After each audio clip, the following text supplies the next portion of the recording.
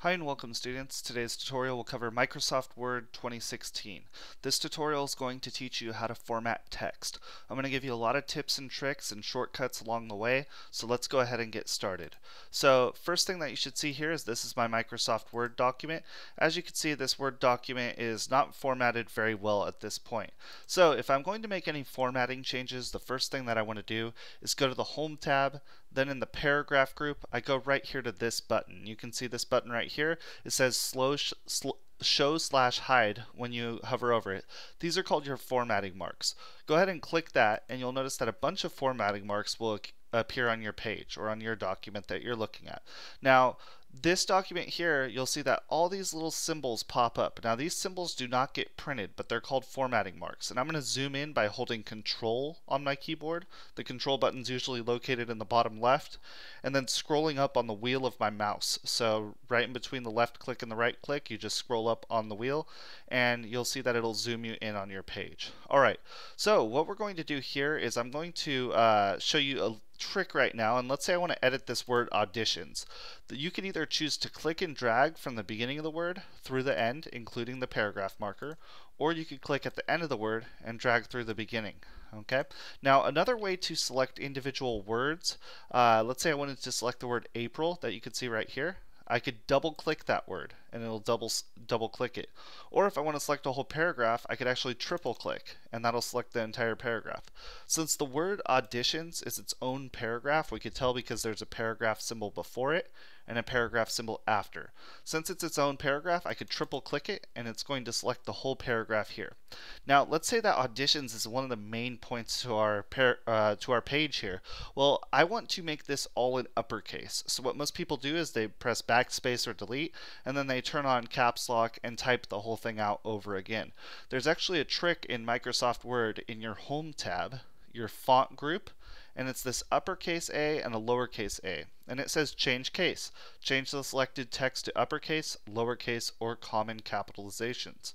Well, I could click right there, and now I can make this all uppercase by clicking right here on uppercase. Alright, so you'll notice that a lot of what we're going to do on this tutorial deals with the Home tab and the Font group. The Font group is how we format our text. The paragraph group right next to it is how we format the text that's within the paragraph. Okay, so we'll mostly be using these two groups right here. Alright, so we see that we want to change our font size to size 36 now. I'm going to go to the Home tab, again the font group, and we see that this says 28. I'm going to click the little arrow, that's the drop down arrow next to the font size, and I'm going to hover over 36 and then I'm going to click on 36. You'll notice that as you hover over everything, it'll change the size as you look at it.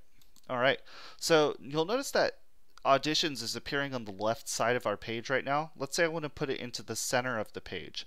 Well, the way that I do that is by centering the paragraph. That's in our home tab paragraph group this time because it's a paragraph setting and it's this button right here.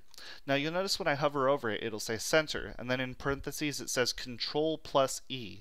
That lets me know that there's a shortcut to basically do control on my keyboard and then E on my keyboard and uh, you, you do hold control while you press E and that's going to move it right to the center and now we see center is now highlighted so that's another shortcut for us alright so that looks good now, you may have noticed in the paragraph below it says Monday, April 2nd at 6 p.m. and Thursday, April 5th at 6 p.m.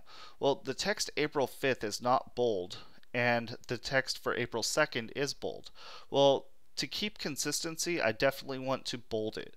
Bolding is uh, in the Home tab, the font group, and it's B right here, make your text bold, uh, which will thicken the text uh, after you click that and then in the parentheses it says control plus B. So I'm going to hold down control and press B to uh, make it in bold. All right.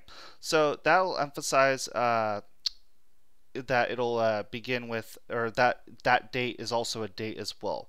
So we bold that April 5th date, and then uh, we're ready to move on to some more. All right, so you'll see right here it says uh, actors, singers, and dancers, please refer to the audition or to the audition okay and as you see that let's put the phrase as follows at the end so what a lot of people do is they click at the end and then they start to type as follows but that's not correct it's supposed to go right after the word audition So you click right after audition, in between audition and the colon.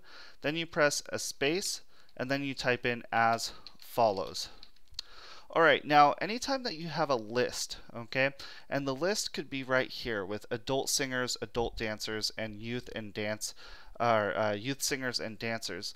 Um, so every time you have a list, it's a good idea to create uh, a bullets on that list.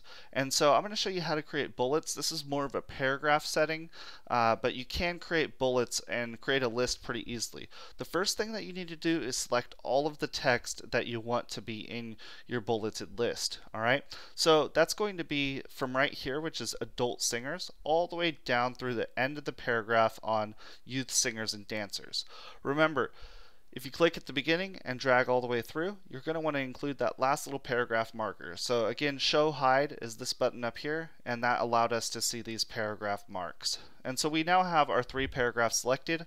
Now we're going to insert a bulleted list. So let's go to the Home tab, the paragraph group, and I'm going to click this button right here, bullets, and it says create a bulleted list. And so I could click right there, and there we go. Now notice what happened. It added in the three bullets and it also indented out the bullets just a little bit. That way we can clearly see a difference between our regular body text where actors is listed and then where our bullets begin where adult singers is listed. Alright, so the next step I'm going to go over is how to change your font size in Microsoft Word 2016. Well, you just go to the Home tab, and again, the font group is where you do it. And we're currently on Calibri as our font, but let's say we want to change it to Cambria. Well, all we have to do is click right here where it says Calibri and you'll notice that when you click it one time it's going to appear in blue and it's highlighted. Anytime you see that blue highlight in Windows 10 or on Microsoft Office that means that you could just start to type and it'll delete what's there and it'll add in uh, whatever you type. So I'm going to start to type CAM and there we see Cambria appears. So Cambria is the listed text. To finalize that text we press enter and you'll notice the text changed when I did that. So again, you wait for the, you click in it once and then you start to type. Alright, so now let's change the font color. That's in the Home tab, the font group, and you'll see this button right here. It says font color, and it's A, and then it'll have a a bar underneath it and usually that bar is red. That's the default color to change it to.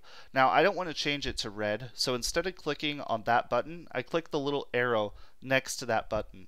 I find that I click this little arrow about 90% of the time compared to actually clicking the A with the bar under it. Now here we go.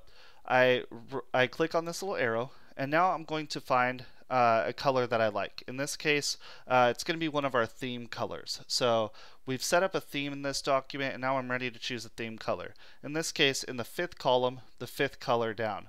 Uh, I'm going to choose this one right here, green, accent 1, darker 25%.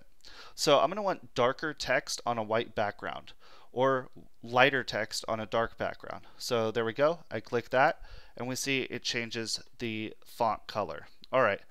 So next thing I want to do is I'm going to take a look at this document here and it says uh, well I basically want to italicize some text alright well let's see italicizing will bring more information to uh, that text right there. So well I'm going to do right here. Let's say this one that says adult dancers and then it says tap dancing is encouraged for the short dance. Alright well right there it says tap dancing is encouraged. I'm going to highlight that as a main point for my document. So to do that, I go to the Home tab, Font Group, and first I, again, highlight those words.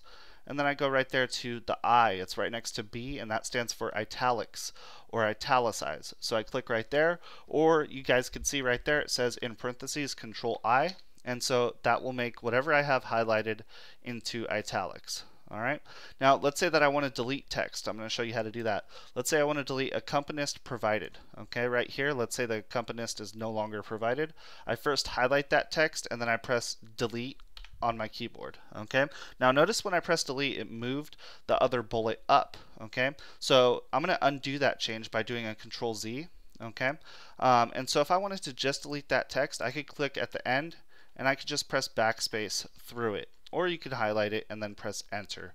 So either way works, um, but yeah, uh, that's how you delete text.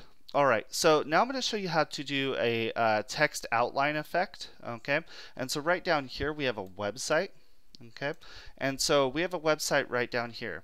And what we're going to do is we're going to apply an outline text effect uh, to this website right here and to the phone number. All right, well, to select multiple sections in Microsoft Word of text, first I have to highlight the first section that I want, which is right here.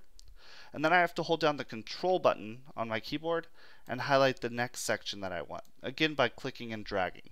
Okay, so that's how we select multiple sections. All right, now what we're going to do at this point is we're going to basically apply paragraph shading and paragraph outlining.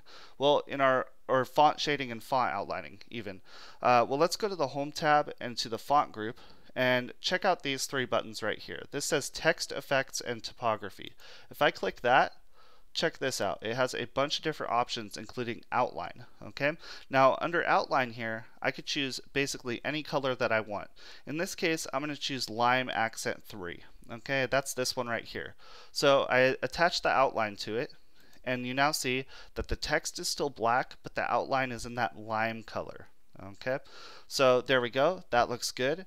And I could even apply uh, this button right here for shading to the actual words. You guys can see that right there. So that's how you apply a highlight. I'm not going to do that because it'll look strange on this document, but that's basically how you uh, format your text in Microsoft Word.